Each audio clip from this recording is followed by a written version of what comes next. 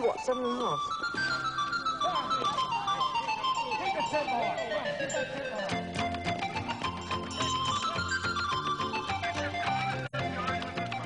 I say it's not, it's not that easy to stop.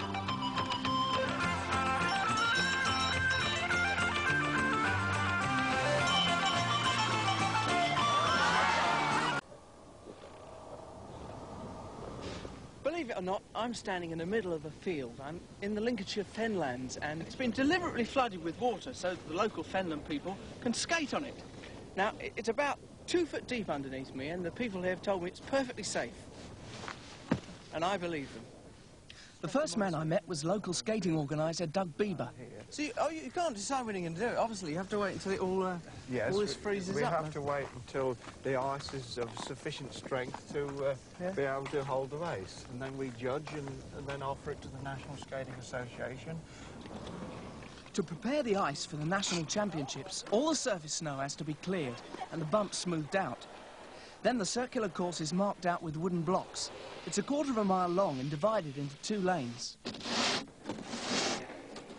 Meanwhile, I put on a pair of racing skates. Oh. They're very low cut, just like football boots.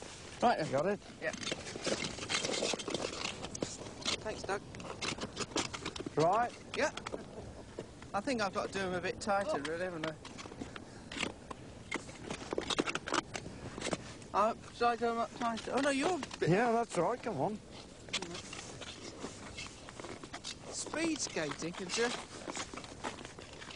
I can't remember the last time I skated, but it felt like a long time ago. I had a double problem. The racing skates didn't give my ankles any support at all, but then neither did my coach. Doug! He was off across the frozen fen as if he'd been born with skates on. You could see as he glided with ease across the ice why he'd been a Fenland racing champion when he was a young man.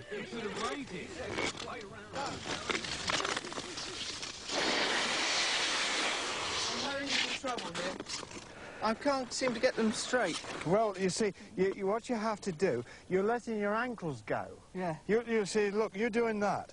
yeah, That's no good. You've got to keep upright. See, look, you're on the, on the blade. yeah. And so your weight must be in the centre of the skate. It's very hard to do that. That's right. Now, come on. Keep your weight. That's it. Don't let your ankle go over. You are doing. See, look, you're doing that. Yeah, I can't help it.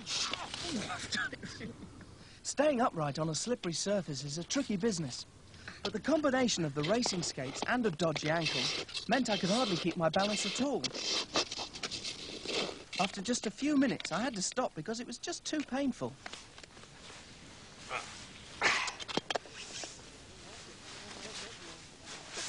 Going on in here.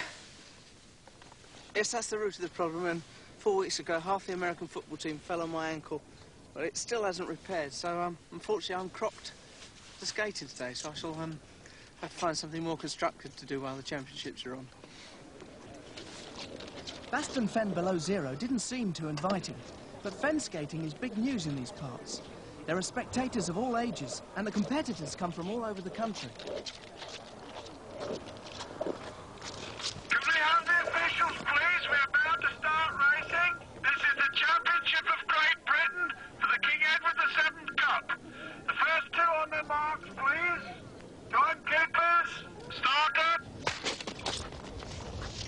Fen skating originated in 1879. Most of the competitors in those days happened to be farm labourers. The first lady competitor was Nellie Slater. She competed in the 30s. And Albert Tebbit won the cup three times in a row in 1902, so he got to keep it. The competition then, of course, was cupless. Fortunately, King Edward VII presented the King's Cup, and that has changed hands every year to this very day from 1905. Timekeepers ready. On your marks. There are two contestants in each heat doing six laps of the course and changing lanes halfway. They don't race against each other, but against the clock. Steve Humber, last year's winner in blue, was trying for the fastest time to get into the final. While they raced, I had a word with some of the spectators. Could you explain the meaning of your hat? Because it, it doesn't seem like your original snow-type hat. Well, it is. It's a Norwegian hat.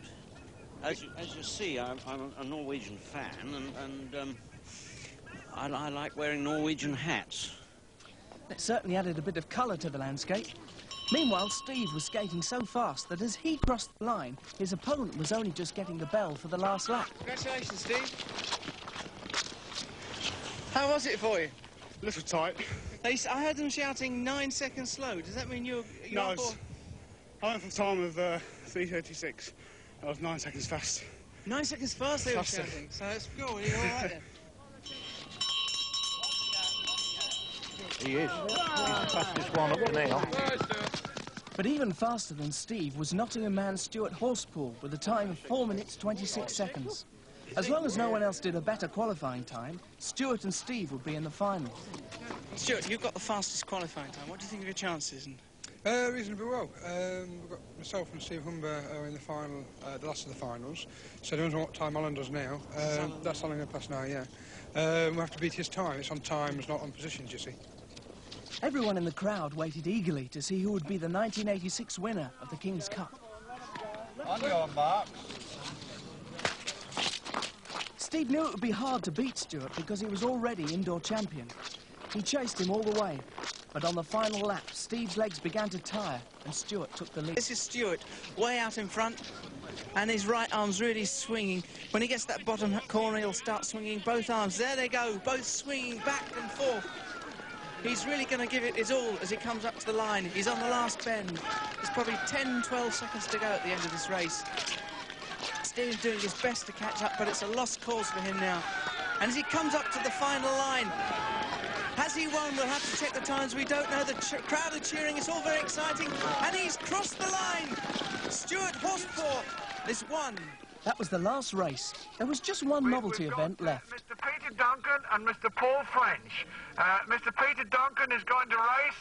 Uh, he has a bad ankle and he has never raced before, but we're very pleased that he's a game competitor and he's going to have a go. I shall say timekeepers ready. Yes? On your marks, then I shall fire. Right, hang on. This, this is my aerodynamics. Timekeepers ready. On your marks.